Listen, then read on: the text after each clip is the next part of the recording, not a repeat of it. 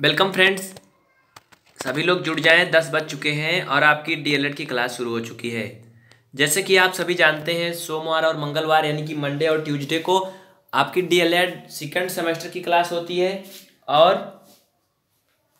Wednesday और Thursday को आपके थर्ड सेमेस्टर की क्लास होती है। तो पिछली क्लास में हम लोगों ने अनुपात से संबंधित क्वेश्चन और उनके बेसिक कॉन्सेप्ट देखा था। समानुपात के बारे में भी आपने पढ़ा था। आज हम समानुपात के कुछ आगे क्वेश्चन करेंगे, उसके बाद फिर समानुपात खत्म हो जाएगा, तब फिर हम लोग अगला चैप्टर पे चलेंगे। और जो अब तक डीएलएड सेकंड सेमेस्टर की क्लास चलती थी, आप लोग को मालूम था, वो सभी फोर्थ सेमेस्टर के सिलेबस के अकॉर्डिंग था। सिलेबस आप लोगों ने किसी ने भेजा हुआ था, मैंने ध्यान नहीं दिया था, ठीक है? तो सेकंड सेमेस्टर की क्लास कल से आपकी फिर से शुरू हुई है, नए बैच में, यानी कि मंगलवार से 25 फरवरी से। चलिए आज देखते हैं आगे।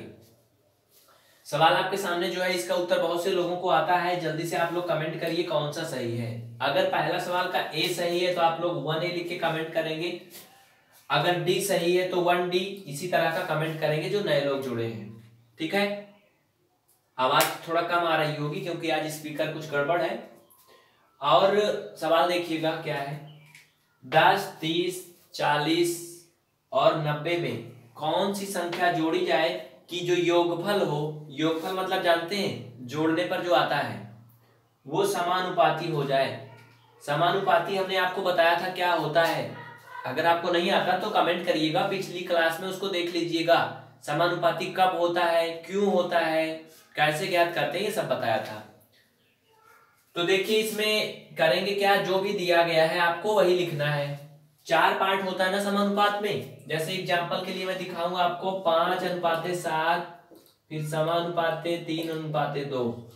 देखिए, चार पार्ट होता है समानुपात में, ठीक है? तो इसमें क्या होता है, आप लोग जानते हैं कि पहले और तीसरे पद का गुणा करते हैं, दूसरे और चौथे का, ऐसे कुछ करके तो उसको हम बनाते हैं ना बराबर के दूसरे साइड वैसे ही कुछ ये दिया गया है।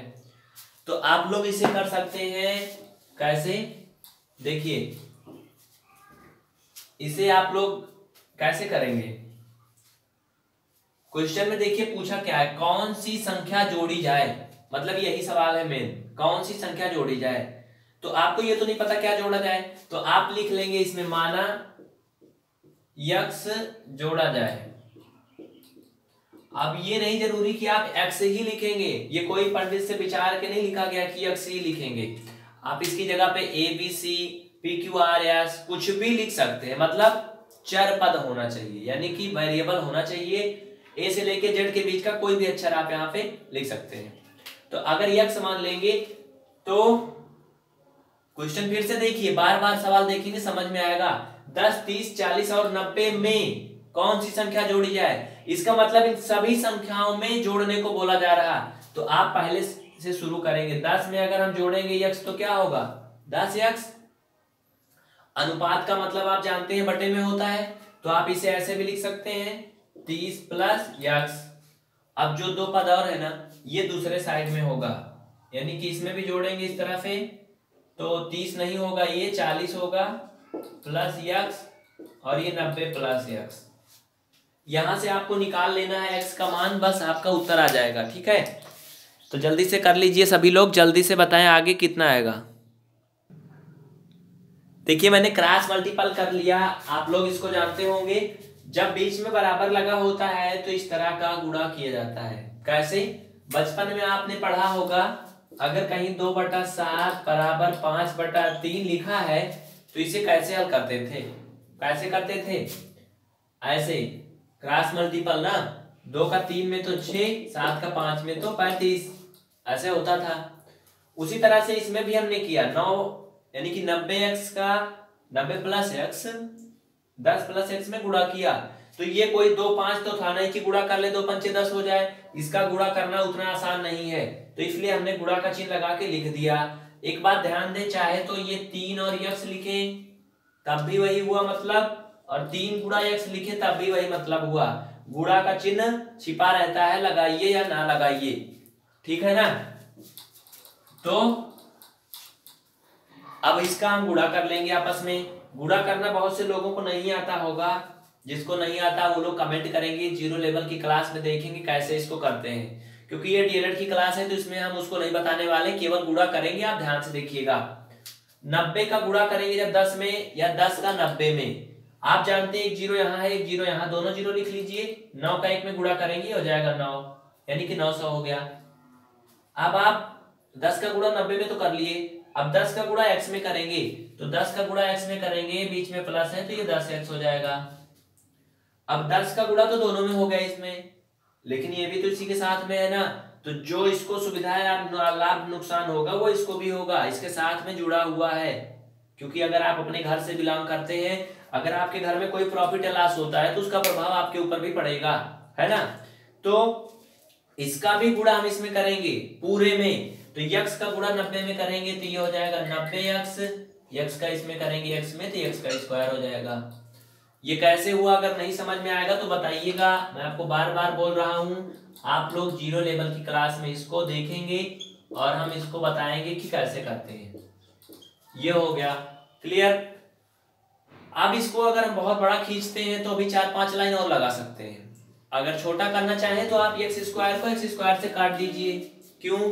क्योंकि चिन्ह समान है। अब आप लोग कहेंगे, ये बेवकूफ़ बना रहे भाई, दोनों तरफ़ चिन्ह समान है तो कहाँ कटता है? कटता है कब? जब बराबर के दूसरे साइड एक पार्ट है, एक दूसरे साइड है तब। अगर एक साइड होता तो ना कटता। क्यों? क्योंकि ये अगर इधर आएगा तो माइनस हो जाएगा। एक प्लस एक माइनस घटेगा, तब भी ज़ीरो होगा या कट जाएगा। आगे क्या करेंगे? देखिए जिसमें जिसमें यक्स लगा है एक तरफ़ कर लीजिए जिसमें यक्स नहीं लगा उसको दूसरे तरफ़ कर लीजिए। तो यक्स वाला इधर कर लेते हैं तो ये हो जाएगा दस यक्स और ये देखिए क्या था? नब्बे यक्स था ना ये? है ना?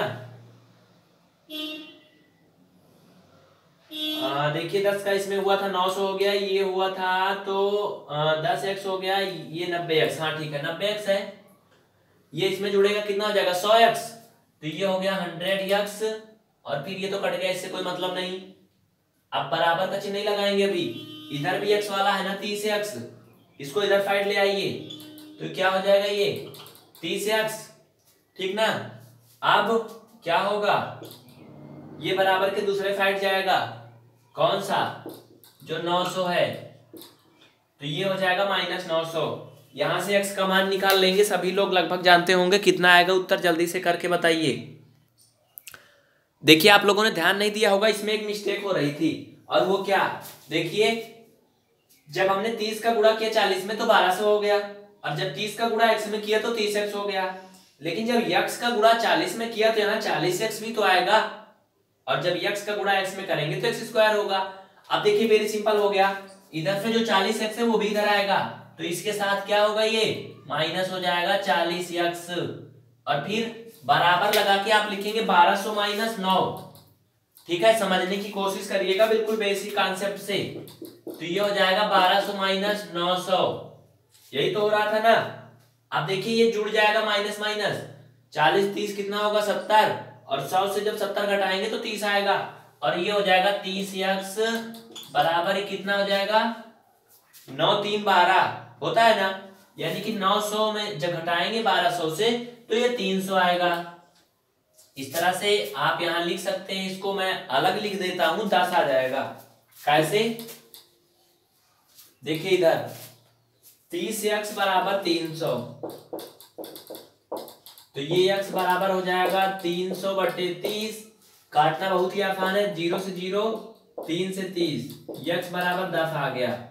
यानी कि अगर जब हम दस में दस जोड़ेंगे, तीस में दस, चालीस में दस और नब्बे में दस। सब में दस दस जोड़ेंगे तो जो योगफल आएगा, वो आपस में समानुपाती बन जाएगा। नोट कर लीजिए, सवाल थोड़ा लंबा तो हो गया, लेकिन फिर भी समझ में आया होगा। ठीक है? लिख लीजिए। जो लोग स्क्रीनशॉट लेना चाहें स्क्रीनशॉट निकाल लीजिए, जिससे कि आप नोट्स बना सकें। और ये कोई मूवी नहीं चल रही भाई, जब भी आप लोग क्लास देखें कापी पेन लेकर के बैठें, जिससे सब कुछ समझ में आए और नोट करते जाएँ। अगर पढ़ना है तो।